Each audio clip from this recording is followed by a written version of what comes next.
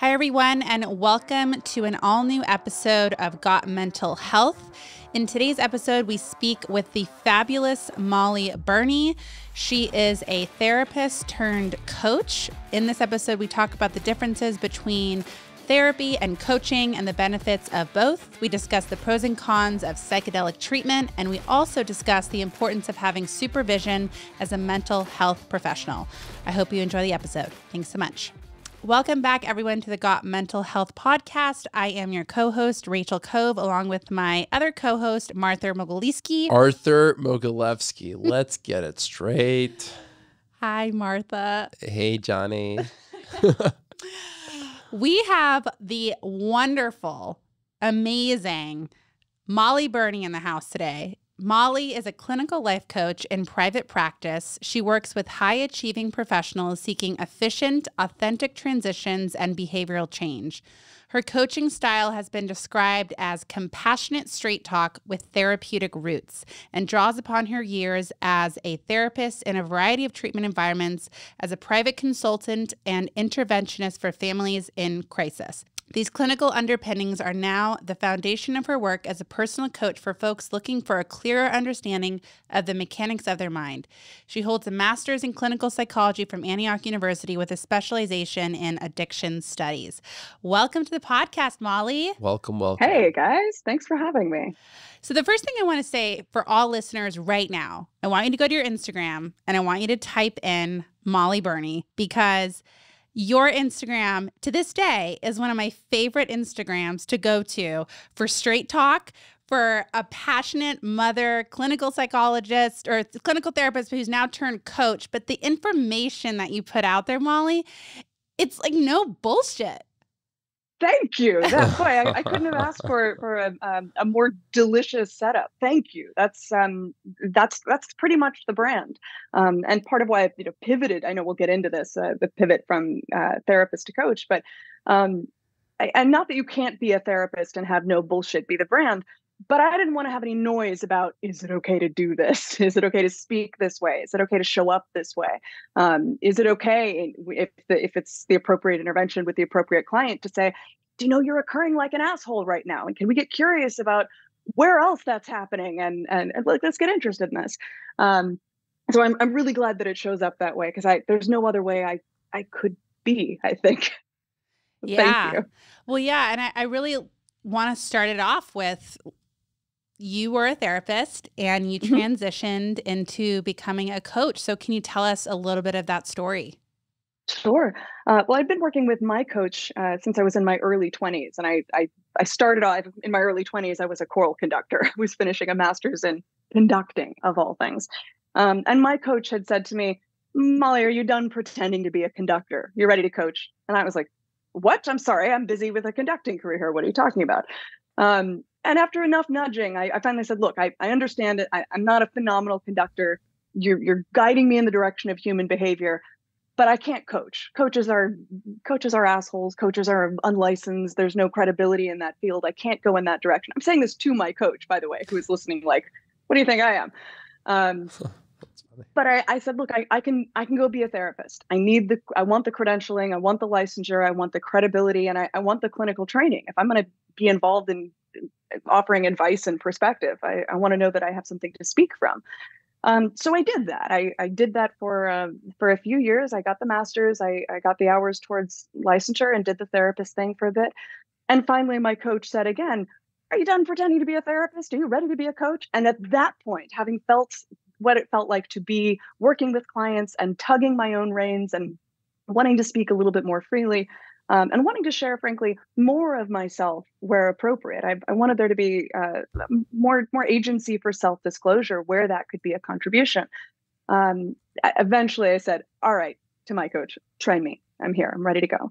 So I didn't go through a, um, a, a credentialing coaching process. I went through the old school apprentice style. I, I sat at, in all of his groups and trained that way, and, and ran my cases with him, and um, the rest is history.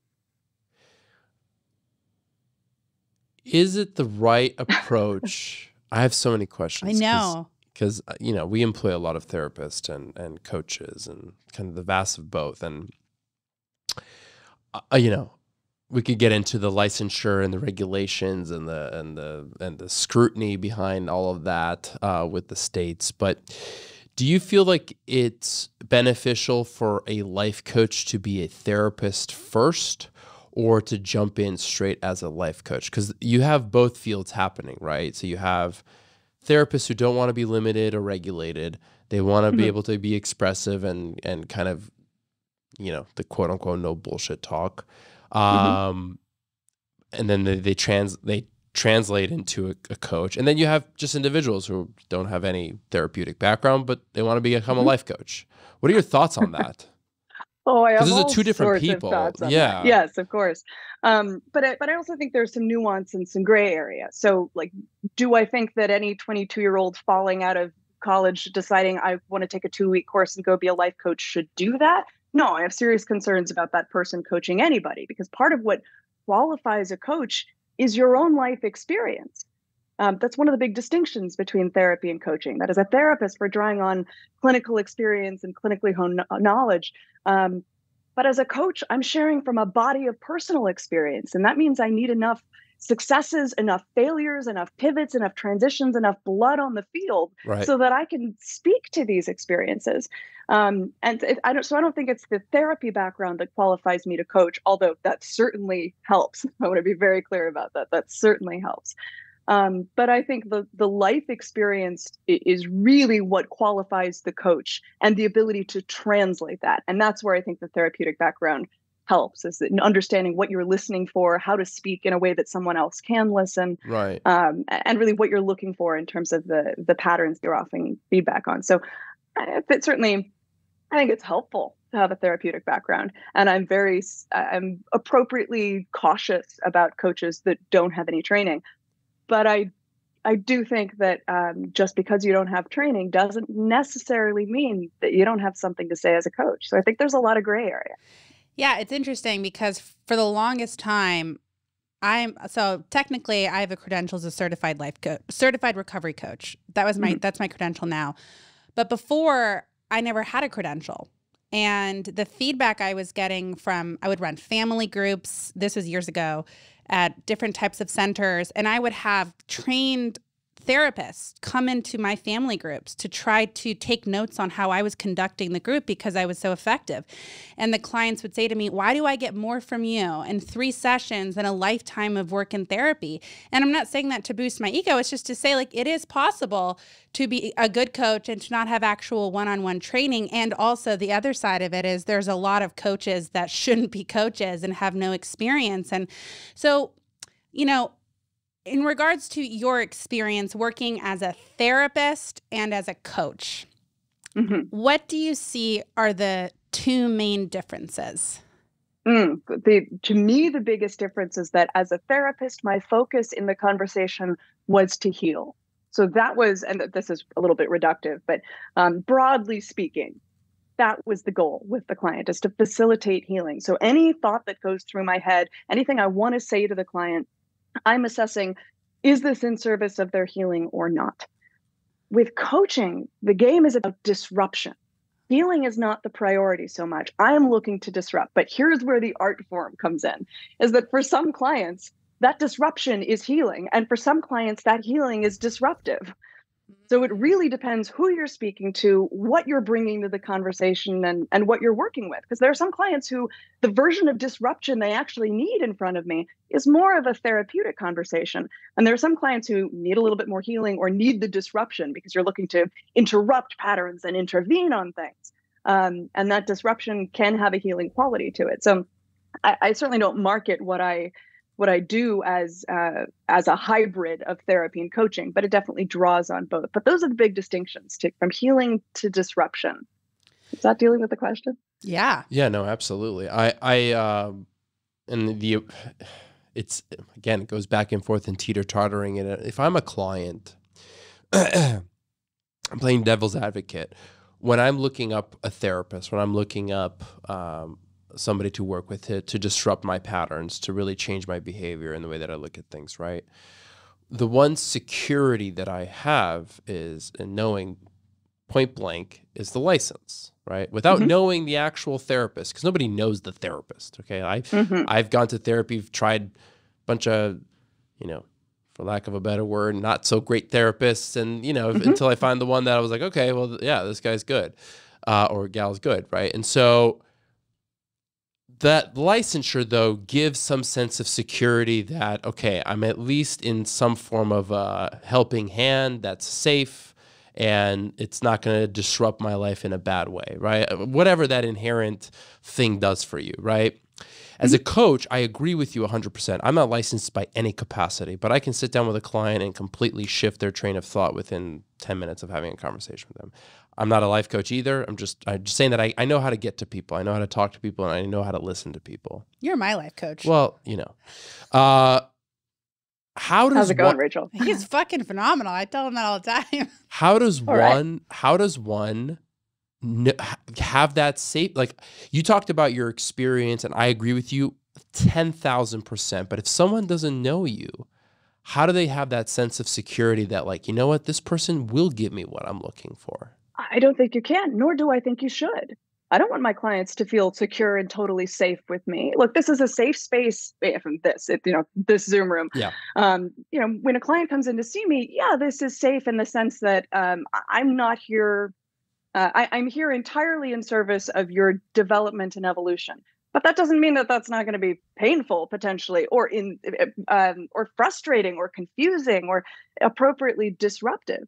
Um, but I'm, I guess I'm not too worried about is someone trusting me to give them the answer. If, if they're coming to see me and they're paying my fee, but they're still going, yeah, I don't totally trust you. That's not a me problem. Mm, That's that's up to them to ask more questions. yeah Um, and and to to facilitate the kind of inform the, the the relationship where we can develop that Right. trust. The other thing I always say to my clients is, you don't want to take my word for this. You want to run everything I'm saying through your intuitive heart that's the licensure here. That you get to determine does this work for me? Does this not? Is this Yeah. helpful for me? Is this not?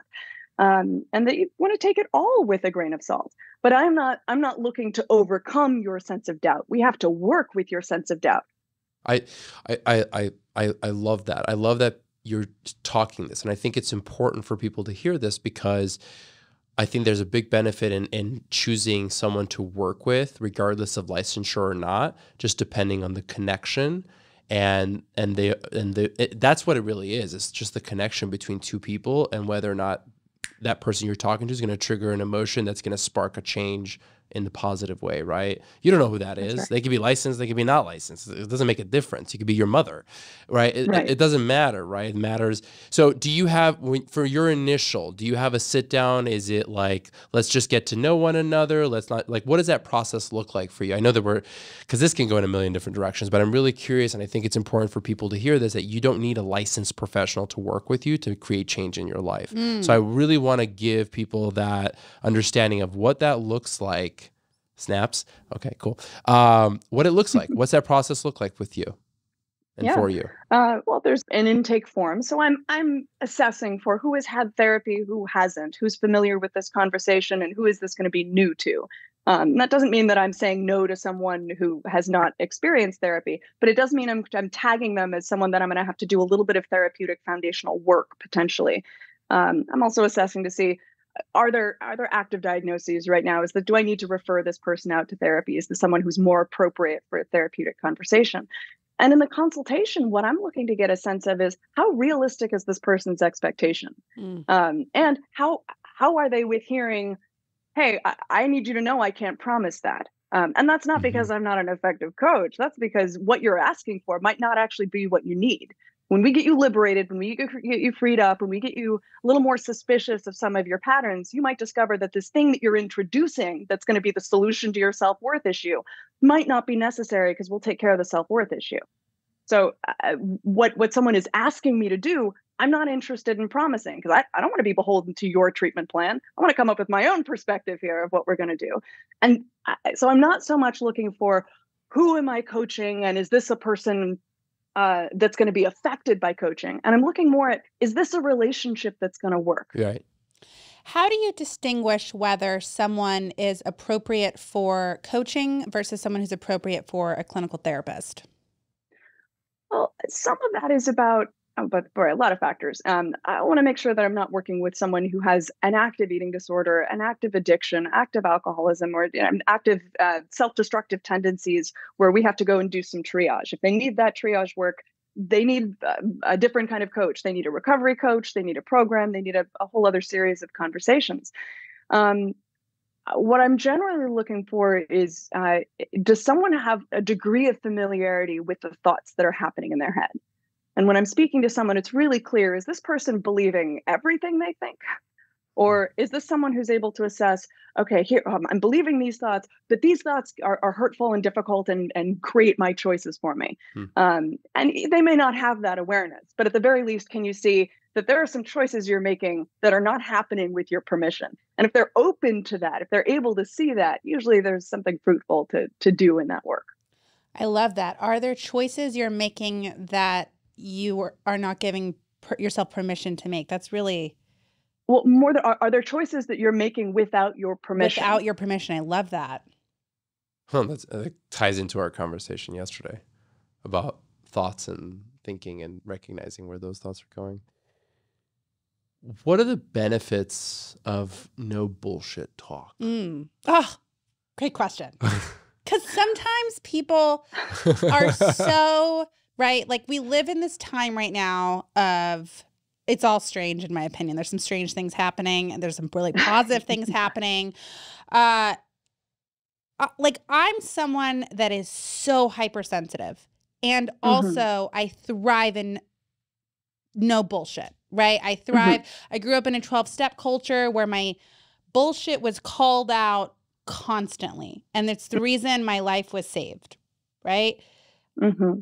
And also, that could be really detrimental to some people. Sure. Right? If you're not in control of your stress responses, if you grew up with parents who were very overly critical in a shame-based family, right? So it's it's mm-hmm. like this it's hard it's just it's hard to distinguish what's right for one person may not be right for another, but I back to what you said, I was like, what is no bullshit? Is that what you said? For well, me, what, what, what's the benefit of no bullshit talk? Right. Right, right. For me, when I think of no bullshit, what I'm really going for is uh, authenticity. How could I show up without micromanaging it or trying to seem more professional or trying to seem more useful or trying to seem more intelligent? I'm done with the trying to seem more anything. Um, and I think what people relate to is being willing to show up as exactly as we are and risking trusting that that's fucking enough. Yeah. We amen. don't have to market this to the end of the earth and what? no, amen. Amen. I, I, I have a question around that specifically because yeah. therapists are taught not to self disclose right? Mm-hmm. And it was actually Lori Cohen who works at Interactions. Oh, I Clinical. know Laurie. Yeah. Please tell Lori I said hello. She's the best. And she helped me so much with my work with clients when she gave me permission to self disclose when it's in benefit of the client. Because I was always right. taught you don't self disclose, you don't personally talk about yourself. And right. yet, when I did my 12 step work with people and I was being mentored by a you know someone in the 12 steps when they self-disclosed i felt a feeling of relief and then i had a therapist who never self-disclosed and i'm like am i in a room with a serial killer i don't know anything about this mm-hmm. person and i remember there was a client once that died and i just found out right? This client overdose, and I just found out, and I was sobbing, and I had to go into group.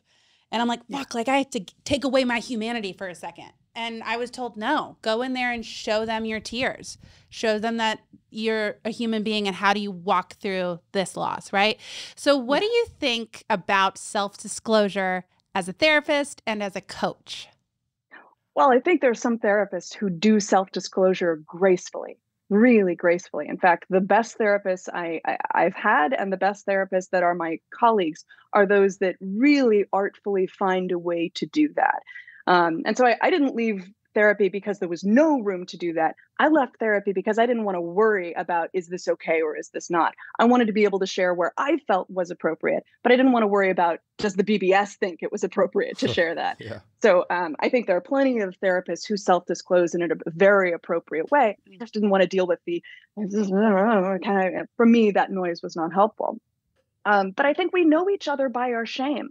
We don't know each other by our successes. We don't connect by, oh, you had that success. Fantastic. I did too. That doesn't make us feel more connected. Your heart's broken. My heart's broken. Then we feel connected. Mm-hmm. So I think being able to to show to share that it's immensely healing.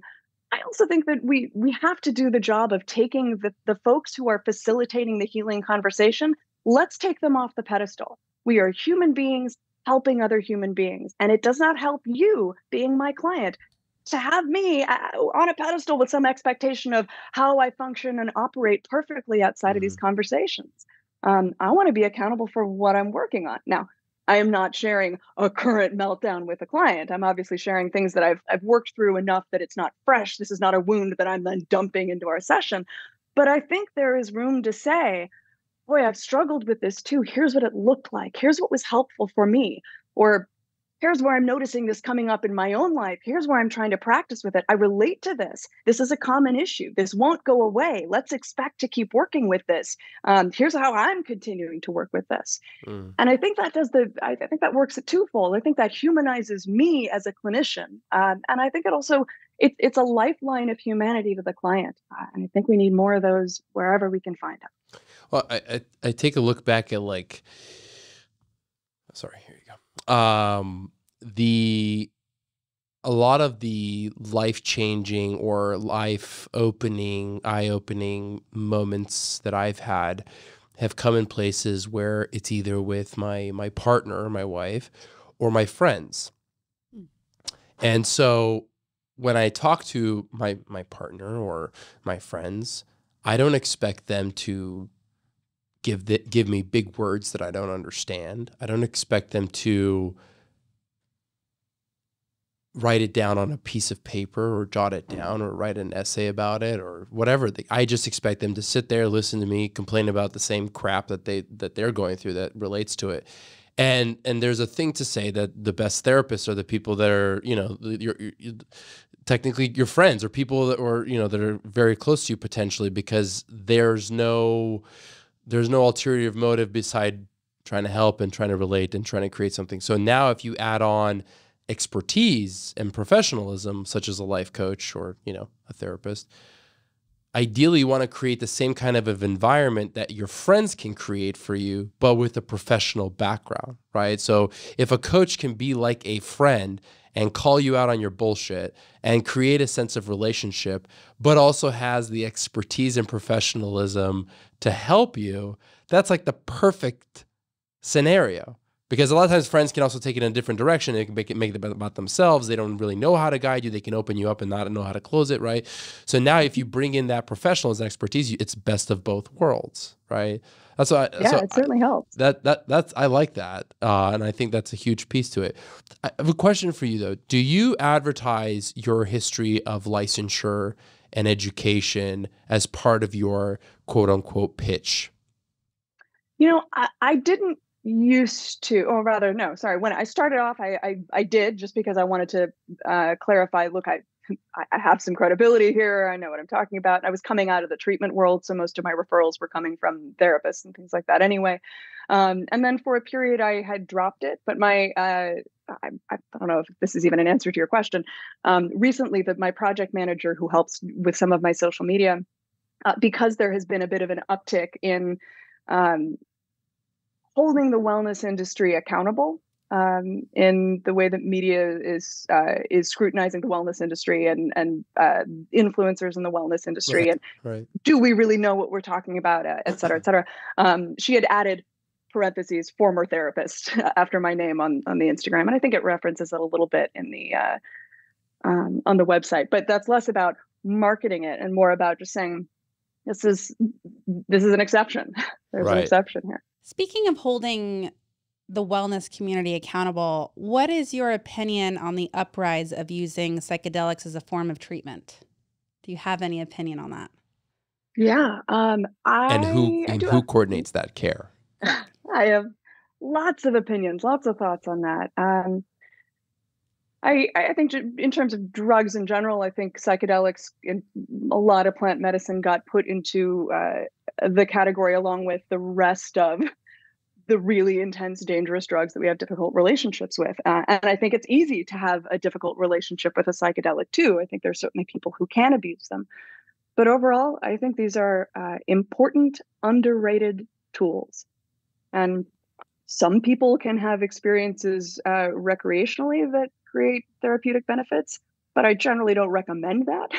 Um, and I know the people that I know that have had success did it in a, uh, and by success, I mean um, it yielded the results that they were hoping for from the journey. They worked with professionals in therapeutic environments.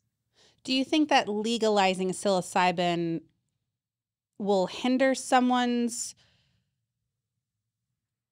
how do, how do we say that? Like, there's some people that think that if you legalize some of these psychedelics, it will be a big harm to society uh, because then there's no way of regulating it, and anyone can just go use psilocybin or any other type of plant medicine and then go drive a car, right? But they could do that now, right? But yeah, I mean, they're not even supposed to do that with alcohol, and they do that with alcohol anyway. So um, there are also not lethal doses of psilocybin. That's also not it's not possible to do. You can have a really gnarly journey. You can have a gnarly journey and make some very questionable life decisions while you're doing it. But um, the dosage itself is is not going to knock you out. Generally speaking, my sense is that there's more good than harm here. Um, I, I think I think yeah. that there is a lot. There's definitely a lot of good than harm, dependent on who is administrating it, the surrounding and the setting. Right. I think it has to come with somebody who's educated and understands it. It can't just be like some random person that did it a couple times and like and, and is now a journeyman or a shaman or whatever it is, and and self-proclaimed, self-proclaimed. shaman. Yes, lots of right, but I mean, but, but, but, that ties in with life coaching too, because there's a lot of self-proclaimed life coaches. That's kind of mm-hmm. why I brought it up because it's in the same realm. Yeah, I mean, there's a lot of self-proclamation even with social media personalities that they have no business becoming wellness coaches, and but they are because they decided to work out every day for five days a week for the past ten years, and now all of a sudden they're they can tell you about diets and and exercise. Yeah, they know something about mental health too. And they, uh, they understand so, how right. mental health ties into your exercise. So there's a lot of that, and that and this that's just wellness. There's financial markets. That's it's the same thing. So I mean, I think social media in general has created outlets for just people in general to be self-proclaimed anything. Once you start bringing in psilocybin, you start bringing in psychedelics, plant-based medicines. I think now you're playing with a little bit something a bit more dangerous. Uh, because it, if if if misused, it can go in the wrong direction. I what does misused mean to you? Just so I'm I'm understanding what you, you're. I think it's with false intentions and hopes. Of you're luring people in for certain uh, outcomes or journeys, and they're they're trusting you based off of what you're advertising, and then they get a completely different experience because you lack the experience beyond what you've personally have had right? So this I see. So you're talking about targeting wellness influencers who are marketing a particular result from taking psilocybin. Yeah, like you're going to be able to deal with your trauma. Your trauma will go away, right? Or you'll be able to process through things that you never even dreamed that you were even issues for you. Mm-hmm. Like and and that's based off of yeah maybe their personal experience that they've had but now they're taking that and creating group settings environments opening up psilocybin churches um, I'm, it's not a, it's real. It's an actual no, no, thing. no. I, I, am nodding. I'm, uh, I'm, I'm, I'm understand. Yeah. Yeah, and and but that's dangerous because you're not looking at it unbiasedly. You're looking at it from your own personal window, and and yeah. and that's where I have the issue that if you start legalizing it, there you're right. There is no regulation. There's no control. There's no structure to that. And yet, old shamans were considered the psychologists of the time, and there was no like technical rules and, rules and regulations and license licensing and Sure, but it was it was it was finite. It was very small pool. It wasn't like there was thousands of shamans out there and every other person became a shaman. Like it was a very small pool, it was very underground, very like you needed to know to get. Now if you create a scenario where you can walk into your local 7-Eleven and buy it, like it's anybody can do it. Yeah, I think it's so dang. It's like the same thing with becoming a life coach, right? There are people that are taking two week life course life coaching certification programs and now there are proclaimed life coach working with people and then there are people that are using psychedelics off one time with yeah a, a facilitator and oh I, i've done it one time so i'm going to go help people with their trauma Right. And Happens all that's the time. and that's dangerous. And I think so. yeah, I, I think that's some certainly some irresponsible work, but I don't know that that means that the substance itself needs to be illegal because people are being irresponsible about how they're marketing their ability to facilitate it. Where I do see it being um, potentially dangerous, uh, first of all, those that have any sort of history of psychosis in the family, obviously there's a tendency um, to spark schi- schizophrenia, or if you have a tendency towards schizophrenia in your own behavior, often this can that can um, spark a relapse into that behavior. But uh, so that's problematic, obviously. The other issue is is people turning to this as um, as the go-to tool repeatedly. And the the Mm. great uh, Buddhist Zen Buddhist philosopher, also alcoholic, uh, Alan Watts says uh, about psychedelics specifically: when you get the message, like when you get the healing, when you get the point of the journey, hang up the phone. Right. You don't need to keep picking this up. You don't need to keep referencing this. Um, so while I while I totally appreciate that, yeah, of course we want to be using this stuff responsibly in a trained setting with a trained person in an appropriate set and setting. Um, I don't know that I, I agree with your take that the substance itself is dangerous. No, eh, not not yet. And the problem when you legalize is you give big corporations opportunities to manipulate. And- and Wait, you wait, you think they're not? You think the manipulation isn't happening now? Not to this like look at marijuana where it was before legalization and where it is now and the potency and what's happening to kids that are smoking. I'm not saying that I'm not at this at the level that it's at right now. I agree. It's the when you can go buy it from a local un, person that you have to find their number or like somebody's got to know somebody to get it or a chocolate or whatever. It's not but that's because there it, it- massive marketing and money hasn't been pushed into it. Look at again, perfect example is marijuana. Where marijuana was and where it is now, and the what you can get with marijuana in what forms and in, in which you know how it- you know uh, outlets, how it can be packaged. All of these things has changed dramatically since it was Absolutely legalized. Since it was Absolutely, it legalized. has. And- we also can't deny that the, the the shift in the the tendency to uh, the opioid epidemic has been impacted positively here Oh, by the 100%. legalization of marijuana. So I'm- Hundred percent. w- well, I, I don't disagree. Yeah, there are concerns that are coming up, um, but I think some of these are just just the necessary fluctuation of a society trying to figure out how do we adapt to what we're learning. So we understand, okay, marijuana can be used as medicine. It can also be used as a, sedo- sed- a sedative, dissociative uh, device that separates us from things. How do we regulate it accordingly, or how do we how do we shift our relationship to it as a society, recognizing that this can be beneficial and dangerous, like anything else, though. Like ice cream can also be beneficial and dangerous depending on our relationship Yeah, to it. hundred percent. I, I I think if you ask enough people that have been living in the world of psilocybin, they actually are against legalization. They don't mm-hmm. want to get it legalized. They like it the way that it is. But that's besides the point. That's a whole different topic. I do want to ask you though, based off of regulation structure, do you feel that life coaching needs more structure and more guidance? Maybe not like a BBS, but where there is a formal training process, something that beyond two weeks, um, something that there is a lack thereof now that it, it's eventually getting to that because it's becoming more and more uh, popular. Well, I think that's why the the certification programs are popping up is to try and Right. speak to that that need and to try and answer that. Um, but I'll, I'll I'll say from having worked, I, I end up doing a lot of supervision with coaches and training coaches and developing coaches and things like that. Um, and, and those that have come from certified programs don't seem to to be markedly more experienced or markedly more knowledgeable um, than those that are perhaps coming with their own life experience or their own research. So Mhm. um, and and that this is just my two cents. So please take this with grains of salt. Um, so do I think it could be improved and and it could probably use a sort of overseeing board? Yeah, I think that could be helpful. But I think there's something also to um, normalizing humans helping humans, and I don't know that an oversight board always facilitates that. Right. Uh, and it, it's usually more about money than service, anyway. Yeah, no, I- mean, it, it goes back to like we don't really, we shouldn't really need attorneys, right? But we do because, you know, we're a society that likes, you know, to legally protect ourselves or whatever. But technically, we should just handshake it out and walk away, right? But that's not sure. usually the case.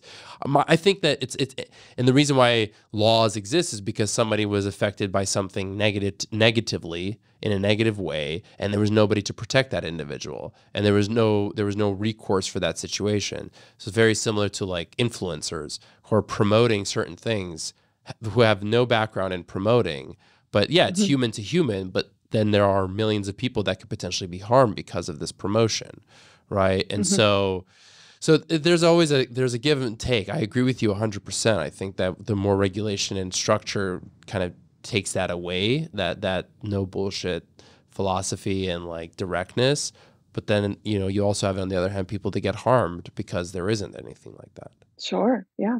Well, I think that's what's important about this podcast too is we're not saying one way is bad or the other. It's just I think like with anything that's the benefit of podcasts, the more information one has, the more that they can make a choice that's best for themselves. There have been times where I mean, I've been in I've had a therapist since I was 13. There are times where I work with a therapist and then there are times where I work with a coach on certain areas. And I think mm-hmm. one has its value. And I was always taught, and tell me your opinion on this, that a coach is more goal oriented than a therapist? I think some can be. I don't actually believe in goals. I think, mm. you know, goals are a way of micromanaging ourselves into doing the shit we didn't really want to do in the first place. Like I don't have to set a goal for myself to get up and write or coach. I, I can't stop doing those things. Um, so I think it's more about getting someone into alignment with what they're authentically interested in doing, what they're hungry to do, what they can't fucking stop doing think that's more to me. That's how I see the work. Um, but I think there's some people that we categorize it as as goal setting. So you would say that there's no like end line here. There's no like goalpost that we have to go through or score or whatever, right? Like it's constantly moving. It's constantly changing. There's no like finite. This is our goal. That's it. Once we finish this, we're we're done. I think some coaches work that way. That's not that's not the conversation I'm interested in having. Nice. Okay. So how do you set up your conversations right. with people that call you and oh. are saying and you, and they go, "Hey, I really want to work with you, Mollie, and I want to work with you on my on my workaholism because you you made this post and I rewrote it because I loved it so much, right? You said I'm so glad. You made a post on your Instagram that says trauma and chronic stress responses that our capitalist society rewards extreme independence, workaholism, compulsive exercise, chronic fear that you're falling behind, skipping meals, living on four house four houses, living on 4 hours of sleep and never asking for help, as well as the robu- robust victim narrative, right? So if mm-hmm. someone comes to you and they're and they say, "Hey, I'm really struggling with workaholism and balancing my work life and my family." Mm-hmm. Where do you mm-hmm. go with that? Yeah, great question. Sure. No, it's like, yeah. Um, the first thing I'm interested in is where is the noise? Like, is it about I'm not doing enough family stuff or I'm doing too much work stuff? And, you know, how, how is this actually manifesting for you? That's what I want to get a read on. Um, because often what someone is presenting as the problem might be a, a an offshoot of a larger problem. So if it's workaholism, and uh, you know work life balance i'm interested in the self-worth issue that keeps us going into work and keeps us repeatedly putting the nose to the grindstone um, uh, to try and solve a self-worth issue or is this more about avoidance of the family and there's a relationship issue here that's keeping you from diving in? And that, that's just off the top of my head. This is not to say that everybody falls into those categories but the question i'm always asking my clients is where is the noise? What area of your life where is it showing up and what the fuck is the noise? What, what are you believing? What are you hearing? What's the narrative that's going on in your head? And noise is the commentary that's driven by shame and fear. So a thought like, what's for lunch probably isn't noise. I mean, if you have an eating disorder, it might be noise. Um, but a, a, a, noise might be like, oh, this isn't going to go wrong, or Mollie, you, you, better sound smart on this podcast, or this better be as good as I hope it is, or man, I should have done, I should have done stayed longer at work. Whatever the noise happens to be, it's driven clearly by shame and fear. And we want to get more suspicious about that that particular narrative and what's going on there because usually we're listening to that like it's entirely credible. Well, if someone came in and said, I'm a workaholic, my workaholism is negatively affecting my family. By the end of mm-hmm. my work with you, I don't want to be a workaholic. What if that's their that's how they're measuring their work with you? What would you say to that? Yeah, they, they get to do that. They get to track how's the workaholism going. And it's not a conversation I'm wanting to avoid there, of course. And I and I want to be asking them like, how's this going? Is this affecting what you want it to affect? Is this doing what you want it to do? Um, and some clients will say, like, yeah, this is totally solving what I wanted to solve. Um, others will say, yeah, it didn't solve what I thought I wanted to solve, but it solved these other things that I really did need to take care of, and I just didn't know that. And um, either now this is a non-issue to begin with, or now we can go back and and, and address that. So it's not that I'm dismissing that what they're addressing as something they want to work on as the issue. Um, but I am I'm looking at the the whole narrative. So if we're just focusing on work, I'm missing a number of other elements here that are irrigating your relationship with work. Mm. Is this dealing with your question? I feel like I'm not quite. No, absolutely. I I, I pause because I I really like to just digest what you're saying, and I agree. That's how I that's how I work with people as well. I guess I'm I was really you're the first person I've ever heard to say I don't really do like goal setting. And so I really mm-hmm. want to understand that because I find that to be very interesting and I want to understand your approach on that.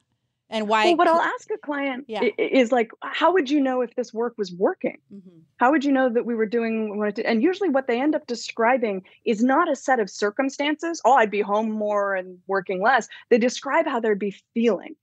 Mm-hmm. And that's a pretty good indication for where we want to go into and that they have the, the um, their relief hooked up to a particular set of circumstances, a result.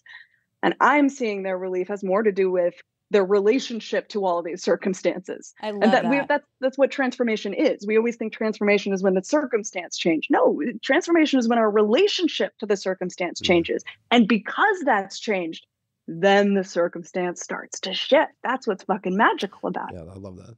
Yeah. No, that's very true. How, uh, do you set up like measuring tools? Is there check-ins? Like how how like what is what does a process look like with somebody who's working with you like long term? A lot like therapy. Okay. A lot like therapy, where they're meeting weekly or every other week, where they're involved in some of my groups simultaneously. Is this something where you're also available, kind of an on-call thing? Is it is it very much like a like a like you scheduled slot is this and that's it? Yep. Yep. We meet. Uh, we have a 50 minute conversation. that's right. Um, and sometimes if I'm doing a, a, a, coaching container, or if there are coaches that I'm doing supervision with, they can shoot me emails or texts and ask about clients or, or situations and things like that. I'm curious, in your transition, the first client you had as a coach, mm-hmm. what was that like? Oh, terrifying. Just terrifying. Talk um, about also that. exciting, but, yeah. but, but mostly I'm really I'm really curious. Like when you knew the shackles were removed mm-hmm. and you had the ability just to fucking go anywhere. What was that like for you? The terror was here I am without the shackles. What if I'm not effective? Ooh. What if I'm not effective even when I'm freed up? And that's where my coach was like, "Oh, you need this you need to be effective as a coach. You shouldn't do this work. If you need to be effective, let's let's get out of the game right now." And I was like, "Oh, right. This has nothing to do with am I going to be able to change someone's life? This has to do with like, do I feel inspired in the conversation? Do am I discovering something? Am I on fire in this? And what I tend to find is if I'm enjoying the conversation, if I'm bringing everything I have, all my consciousness, all my scrutiny, all my discernment to that conversation in a really playful way, they tend to see the results. Just be you. Apparently. It's, like, not, it's, it's so difficult. Was there really hard uh, is. We're trained out of that. I know. Um, did you find that there was a difference in your approach when as a therapist you were trained to look for a clinical diagnosis uh, versus a coach you're not one of the things one of the reasons i think my coach was telling me, Mollie, are you done pretending to be a therapist? Is that diagnostics were not my jam. was one of the many reasons that that he he was saying that to me. Um, but that I always found when I was doing supervision with uh, to get my hours for to be a therapist, um, that when I was asked diagnostic questions, I was like, I I feel like you're speaking Greek to me because I'm I was just never looking through that lens ever, ever ever. Um, it, it, still doesn't come organically to me now. Uh, so I, I, I just I leave that to the therapist. I leave that to the other clinicians. So no, that was not a hard pivot for me. That was a delightful pivot. Yeah, I, I I I've run into people that have um, like a friend of mine who's a realtor. He has multiple coaches. Mhm. He has a coach for this, a coach for that, a coach to how to buy groceries. Like Ah, this, this is very a- compartmentalized for a, him. there's huh? a coach for everything. Is Mhm. there a benefit to having multiple coaches? So uh, there's it's a two part question. Okay, first part: What are the benefits of a coach having a coach, like or like a therapist having a therapist? I, I know, I know, I know your answer. I know, I know, I know. I, I'm I know, sorry. I know where you're going with this, and I agree with you. Uh, the benefits of a coach having a coach, number one. And then the second part to the question Are there benefits of an individual having multiple coaches for different aspects of their life? Is it better to have one? Is it better to have a couple? What's the perfect design? Because again, coaches are, you know, it's there's a coach for wellness, there's a coach for finance, there's a coach for this, there's a coach for that. I think ultimately they're all dealing with the same issue. Um, the core issues, just different aspects, but that's just my opinion. I'm not a professional um, coach, but um, you know, so if you can answer that, and two different questions.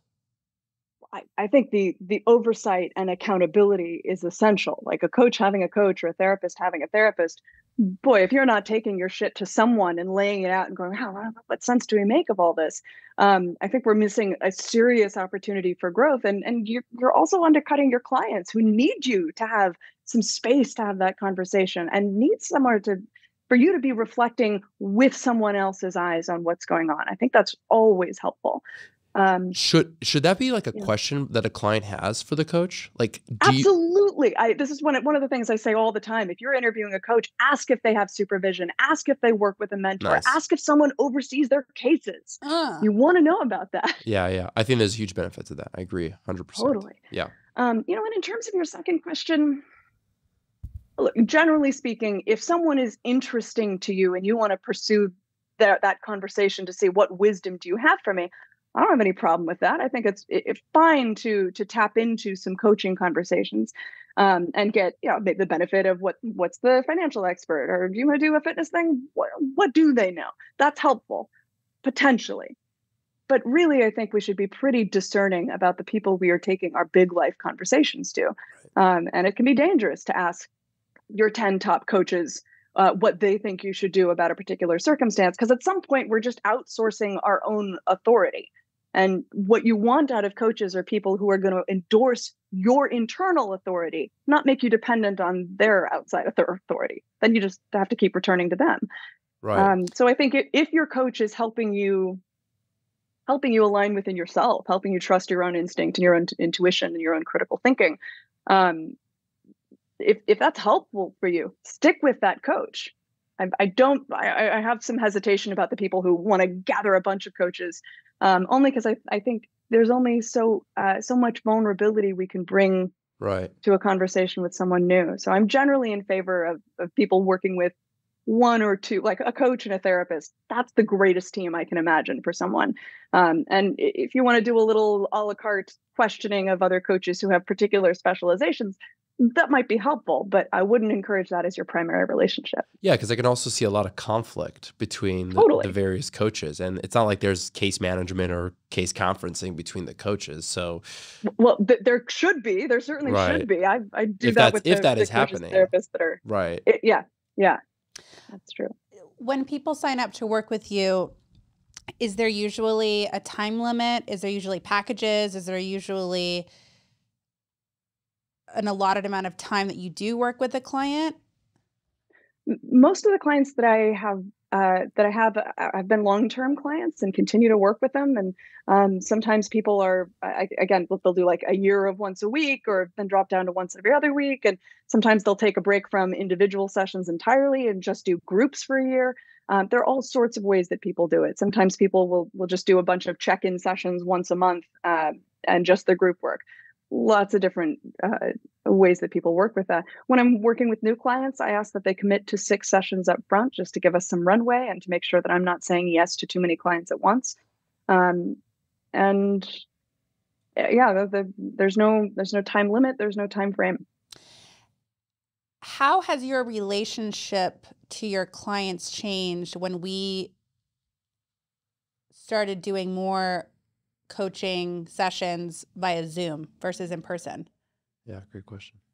Yeah, it's a good question. Um, I found I, I, I don't yet know. I'll say this. I don't yet know how my coaching has been impacted because I haven't gone back to in person fully. The two times that I've seen, I've had clients who flew me in for particular um, events, like we did day long intensives with them. And so the two clients that I've worked with in person since the pandemic, it felt like working in 3D. I felt like, oh my God, I have a, a massive information coming at me way more than I ever do on Zoom. So what that has made me think is I, I, bet I've gotten a little bit reductive in my coaching. I bet I have started um, overlaying some templates and uh, and moving a little bit more quickly because I'm not getting as much information as like you know the foot tapping or so the shift of someone's body that I don't get to see in the same way. Um, hmm. All in all, I like to think that the the caliber of conversation is the same. I get the feedback from clients like, "Oh, you translate through the screen," and that's great, fantastic. I'm uh, I'm glad I'm glad that works. But I do feel like something is really missing from um, from being in person. I have a follow up question to the Zoom aspect. So you know we're, we're we're fortunate to live in LA where there's millions of different cultures and different people from all over the all over the world. As a clinician, by state law, you can only perform within the state that you operate, right? There are some states where mm-hmm, you can get mm-hmm. a license you know, across state lines, whatever. But commonly, most of the time, you're working with somebody that's from the state of California. What does mm-hmm. that bring? It brings a certain culture, ideology, way of thinking, way of living, whatever, all combined into one. Now, as a life coach who has mm-hmm. the ability to Zoom as a norm, mm-hmm. and you can access somebody in, let's say, Alabama or New Zealand or wherever, anywhere in the mm-hmm. globe, your license is not restricting you anymore to the state that you're operating in. How has mm-hmm. that felt? I mean, I don't know if you have those types of clients or not, or what. Yeah, like, yeah, I have clients in, in Germany and Australia and the UK. Okay, and, so and in, in other states. Yeah. So because now you have people from Germany who have a completely different mindset than yeah. let's say people from California and different mm-hmm. culture, different background, different way. How exciting has that been for you? And what has that experience been like in that transition? Really curious. Totally enriching. I mean, not only are we dealing with me, I'm a very fast talker. So me having to slow the hell down so that they're not translating so fast has been just a good experience for for me. Um, that's been really helpful. Right. Um, and they're, uh, everyone that I've, I've worked with has been really um, just uh, I, I've, I've learned a tremendous amount. So even, even when I'm working with this particular couple, I'm thinking of um, eh, conversations that I would give them to have with each other, which I'm, I'm, to me would be fundamental baseline conversations for a couple to have. I was realizing from a cultural perspective, oh, these aren't conversations they've ever touched at all. Mm-hmm. So I mm-hmm. can't introduce this as like, oh, here's a baseline conversation when in fact we need a whole like intimacy 101 conversation. Um, and the more clients that I've, I've worked with who are German, I'm getting a sense of, oh, this is this is a cultural phenomenon. I actually have to back this up. So there are definitely shifts in the process. Um, but I, I love working with people who are not all from California. And I, now we're located in, in Portland, Oregon. Oh, nice. Um, so you know, just get to work with people from all over, and it's a it's a luxury. It really is. It's I feel like it's extremely stimulating. Sorry. I, am so sorry. I, am looking at the time. I have to go into another oh. session right yes. now. I apologize. No problem at all. I'm so sorry. Go ahead if you have to come on. Thank you so much for coming on here. Uh, I, I don't know if you have to go like this second. So, this second. I, I do. Forgive okay, me. Go ahead. It's all good. I so appreciate you guys. Thank Pleasure. You, we'll have you on Thank again. You. Yes, yes. and I did see you at the park. That's where I met you. We did have a the circle. Park. We had a park session with Rosewood. They put on an event together. Cloverfield. And you and I and you and I talked about Lori. Yes. Oh. There we go. There okay. we go. All right. Gotcha. Bye, Mollie. Much Thank love. you, Mollie. Thank you. Take care. My pleasure. Thank you, guys. Bye. Bye. Thank you, everyone, for listening to this wonderful episode on Got Mental Health with Mollie. We really appreciate your time. We appreciate your feedback. If you don't already, please rate, review, and follow us on all podcast platforms. Please give us your feedback. We love engaging with you. Follow us on TikTok and Instagram. And that's about it, folks. That's all she wrote. That's all Thanks she wrote. everyone for listening. Thanks.